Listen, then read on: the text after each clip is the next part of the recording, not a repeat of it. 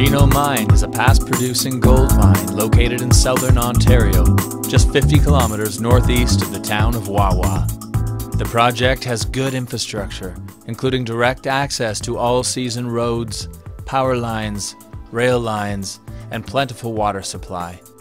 The Magino mine consists of mining claims totaling 19 square kilometers that are 100% owned by Prodigy Gold.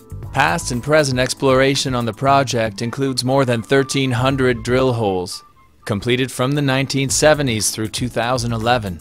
In February 2011, Prodigy released an updated 43101 compliant resource estimate that utilized estimation criteria appropriate for potential open pit mining scenarios.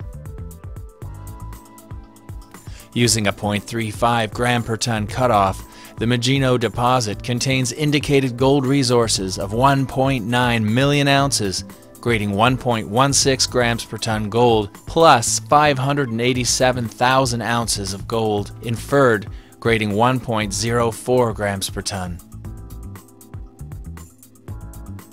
Gold mineralization at Magino measures 1,400 meters by 700 meters and presently extends to a depth of greater than 600 meters.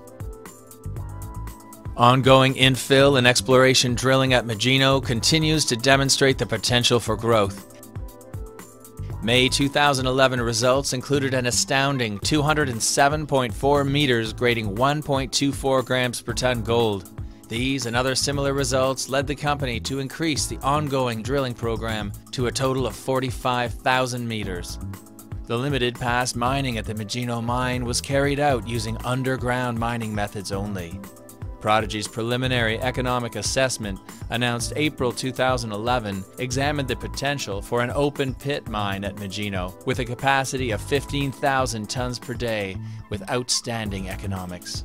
The project boasts a net present value of $351 million at a 5% discount rate, plus an internal rate of return of 49% at $1,000 per ounce gold. Additionally, cash costs are considered low at $521 per ounce.